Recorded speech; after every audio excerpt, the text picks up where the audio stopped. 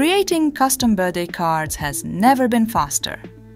Leonardo's real-time gen feature makes image generation a breeze. No need to wait, see your creations instantly as you type. The best part? It's free for image generation, you only use tokens when refining images. In today's video, we'll dive into the magic of Leonardo's latest feature, showing you step by step how to craft a personalized birthday card. If you're new to Leonardo, check out my Leonardo playlist linked in the description for all the sign up and usage details. To begin with real-time gen, just click on it in Leonardo's left navigation bar. As you start typing, the AI instantly generates an image. For example, I'll type a cute cat holding up a sign that says, Happy birthday, Emma. And there it is, the AI nails it. Now, let's fine tune our image because honestly, the cat looks a bit grumpy. Let's try out various styles. The default one is dynamic.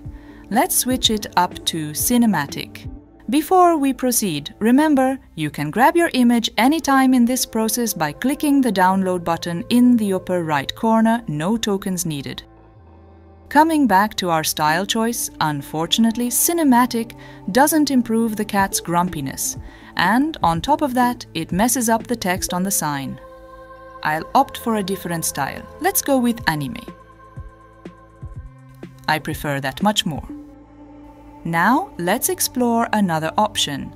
You'll find various elements to enhance your image, like coloring book, folk art illustration, kids illustration, or toon and anime. Experiment with these until you discover a setting you fancy.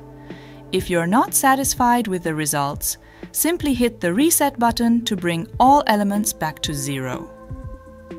I'll include the kids illustration element once more. If the AI generated image isn't to your liking, you can always hit the random seed button.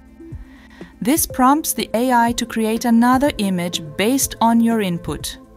However, I'm pleased with my image, so I'll stick with it. Now, you've got two choices. Download your image as is for free or opt for Creative Upscale, which will cost you 8 tokens. The refined image by the AI will be in your personal feed. Keep in mind, it's a bit hit and miss sometimes. Check out how refinement messed up my text again. Here's my advice. Always download the image you like before exiting real-time gen or tweaking the settings, or you risk losing all your progress. If you have a paid plan, you can enhance your results by using the refiner with a higher setting.